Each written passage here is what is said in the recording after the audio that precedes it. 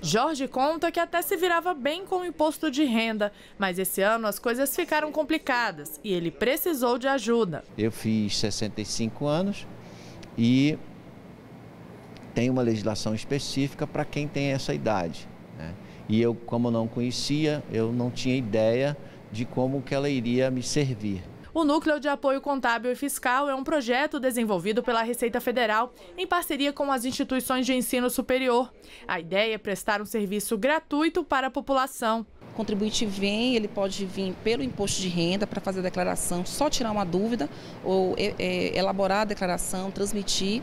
Nós também atendemos o pessoal do MEI, que é o microempreendedor individual, para dúvidas, emissão de guias, regularização de pendências. Um dos objetivos dos núcleos de apoio contábil e fiscal é qualificar o futuro profissional. Aqui, os estudantes vivenciam na prática o que eles aprendem na teoria em sala de aula. Além disso, eles participam de grupos de estudos, treinamentos e visitas guiadas à Receita Federal. A Sueli está no quarto semestre da Faculdade de Ciência Contábil e, desde o início do ano, atende no núcleo. Para a estudante, o NAF é uma grande oportunidade. Ajuda muito porque é um crescimento profissional para a gente.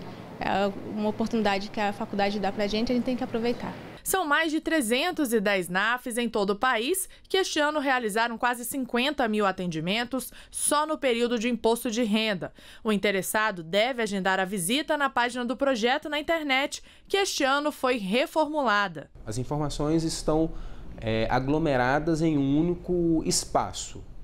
Segundo, a gente consegue dar maior publicidade e, com isso, o contribuinte consegue ficar mais bem informado.